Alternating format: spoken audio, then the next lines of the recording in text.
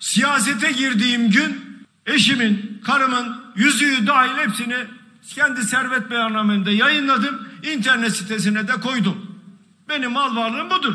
Hepsi alnımın teriyle kazanmış mal varlığı. Siyasete girdim. Hiç ek bir mal varlığım olmadı. Aldığım para belli. Oturduğum yer belli. Çocuklarım belli. Eğitimi belli. E nasıl oluyor da birileri siyasete gir- girdiğinde zenginleşiyor, köşeyi dönüyor? Nasıl oluyor bu? Rahmetli babam derdi ki, oğlum sen doğru dur, eğri belasını bulur. Doğru duracağız. Siyaset doğru alan olmak zorundadır. Siyasette bir ahlak olmak zorundadır. Bunları niye anlatıyorum? E yarın sandık gelecek önünüze.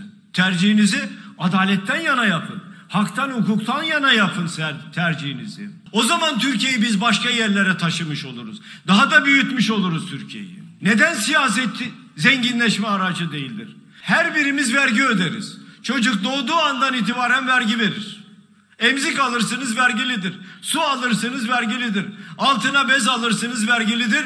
Öldüğü zaman kefen bezi alırsınız vergilidir. Kime veriyoruz vergiyi? Devleti yöneten siyaset kurumuna teslim ediyoruz. Bütçe diyoruz buna. Şu soru çok önemlidir. Ve şu soruyu her birimizin tek tek kendimize sorması gerekiyor.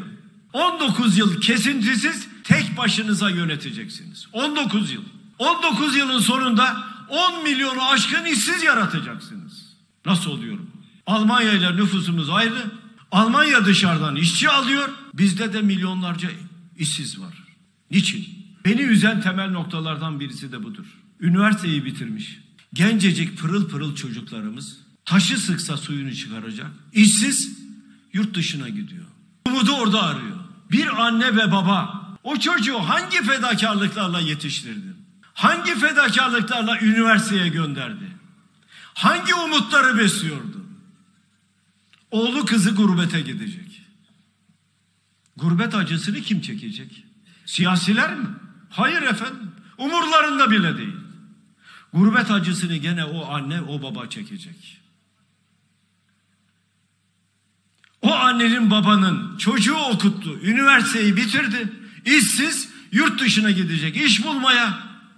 Yine acıyı çektiriyoruz o anneye ve babaya. Bunu telafi etmemiz lazım. Bu acıyı kaldırmamız lazım.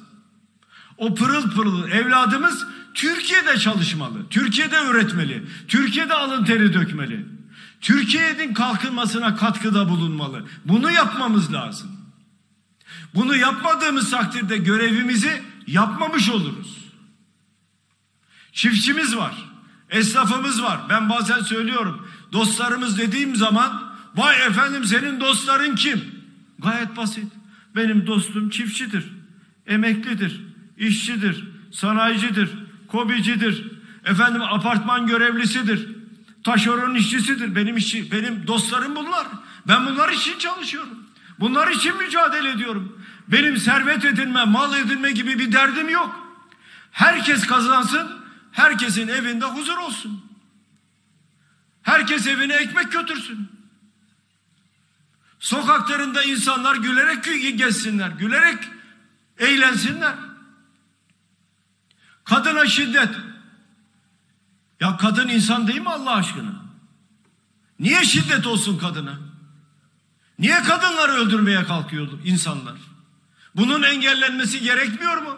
E gerekiyor. Yeri geldiğinde söylüyoruz. Kadını yüceltiyoruz doğru. Bakıyorsunuz sevgili peygamberimiz bile demiş cennet anaların ayakları altındadır. Peki cennet anaların ayakları altındaysa niye anaları öldürüyoruz? Niye bu şiddet? Ben bunu sorduğum zaman çok kızıyorlar bana. Bunları soruyorsun? Neden bunları yapıyorsun diye. E peki bu anaların hakkını kim savunacak? Bu kadınların hakkını, hukukunu kim savunacak?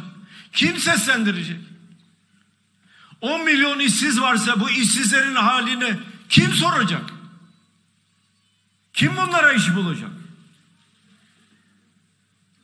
E sormayacak mıyız? Sormak zorundayız. Sordum bir soru. Merkez Bankası'nın 128 milyar dolar parası vardı.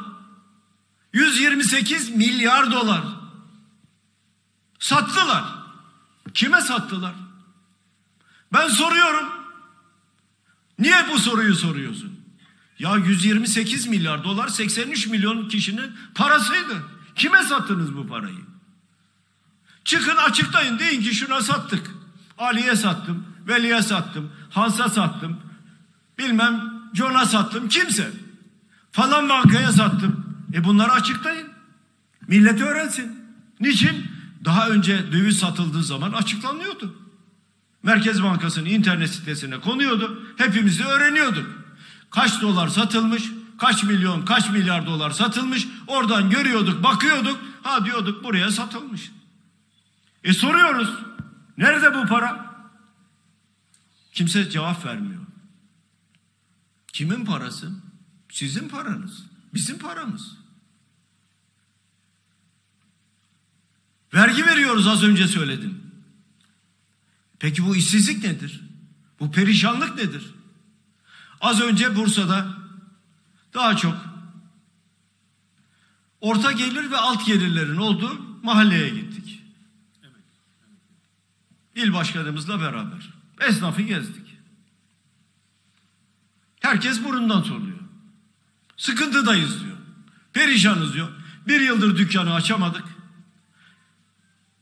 Efendim işte ne verdik? Kira parası verdik. Veya bankalardan faizle borç verdiler. Ödenemedi. Borcu ertelediler. Faizi yükselterek ertelediler. Buradan söz verdim o esnaf kardeşlerime. Bakın Bursa'nın bütün kanaat önderlerinin önünde yine söz veriyorum. Allah'ın izniyle iktidar olduğumuzda o faizlerin tamamını sileceğim. Sadece ana parayı isteyeceğim. Tamamını sileceğim. Aynı şekilde. Çiftçi ister tarım krediden alsın, ister Ziraat Bankası'ndan, ister başka bir bankadan alsın. Ya zaten zor durumda. Perişan olmuş. Bir de ondan faiz mi istiyorsun?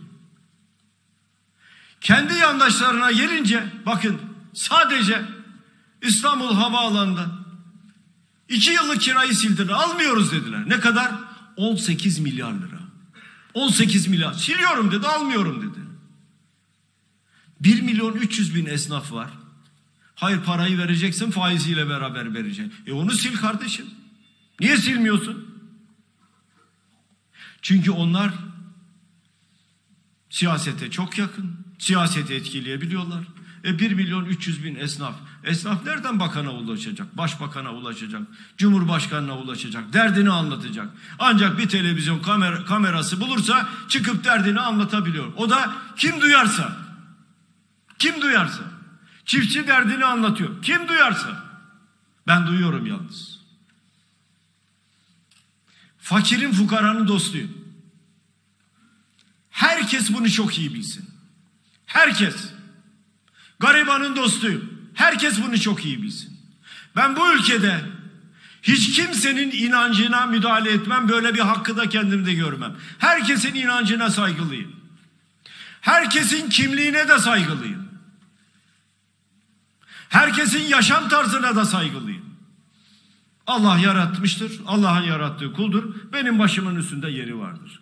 Benim derdim onun çocuğu işsiz mi değil mi? O eve ekmek giriyor mu girmiyor mu?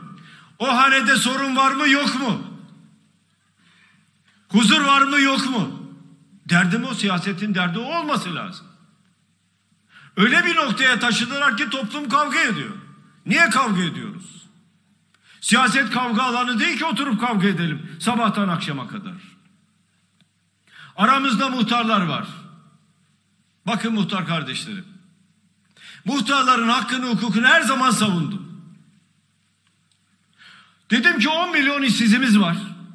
1 milyondan fazla üniversite mezunu var işsiz. Her bir muhtar kardeşime birer yardımcı personel veya isterlerse adı özel kalem müdürü ne derlerse desinler. Birer yardımcı personel vereceğim. Muhtarın istediği kişi olacak. Vay efendim sen bunu nasıl söylersin? Niye söylemeyeyim? Vereceğim. Sadece personel değil. Bütçe de vereceğim. Muhtarın niye bütçesi yok? Yani belediye başkanına oy veren vatandaş muhtara da oy vermiyor mu? Muhtar ikinci sınıf mı? seçildi geldi. Hayır, aynı vatandaş. Belediye başkanını seçiyor. Aynı vatandaş milletvekilini seçiyor. Aynı vatandaş cumhurbaşkanını seçiyor. Aynı vatandaş muhtarı seçiyor. Diğerlerinin durumu farklı. E muhtara gelince üçüncü sınıf. Niye üçüncü sınıf muhtar? Onun hakkı yok mu? Ayrıca muhtarların şöyle bir özelliği daha var.